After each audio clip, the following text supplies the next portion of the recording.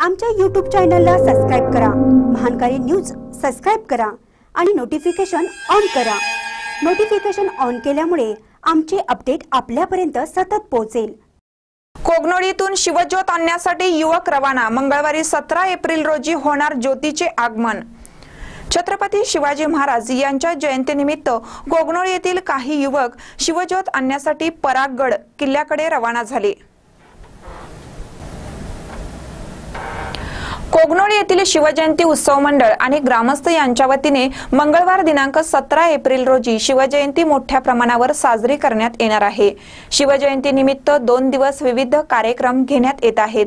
शिवज्योत आणण्यासाठी मंडळाचे कार्यकर्ते पराग गडावर रवाना झाले. येथील ग्रामदैवत अंबिका मंदिराजवळ सिद्धार्थ कोळेकर यांच्या हस्ते श्रीफळ वाढवून कार्यकर्त्यांना निरोप देण्यात आला.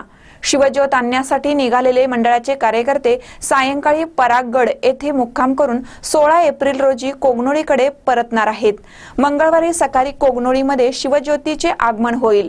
यावेळी ग्रामपंचायत सदस्य दिलीप पाटील युवराज पाटील योगेश पाटील संतोष पाटील धनाजी पाटील अमोल मोर्डे स्वप्नील डोंगळे राहुल पाटील दयानंद निकम दिनेश पाटील प्रमोद जगताप सागर निकम संतोष आब्दागिरे आदींसह विविध तरुण मंडळांचे पदाधिकारी उपस्थित होते.